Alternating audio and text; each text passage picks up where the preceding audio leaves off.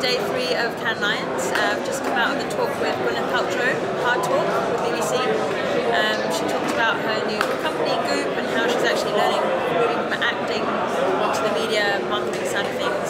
Um, funnily enough, she named it Goop because it has two O's, and all big tech companies apparently have two O's. Um, it's been really interesting talks, and actually it turns out she's going to try and start moving into events and magazines. So real life is not dead and not everything's on the internet.